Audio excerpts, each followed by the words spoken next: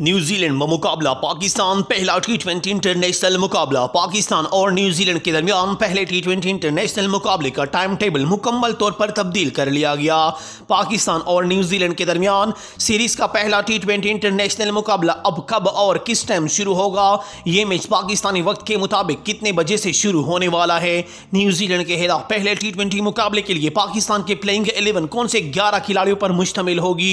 कौन कौन से खतरनाक खिलाड़ी पाकिस्तान की प्लेइंग इलेवन में शामिल हो गए।